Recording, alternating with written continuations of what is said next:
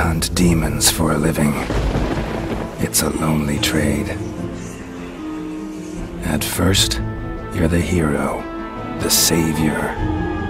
But when the job is done, things quickly change. People realize you're as much a monster as the ones you hunt. Some demons are mindless. Those are the easy ones.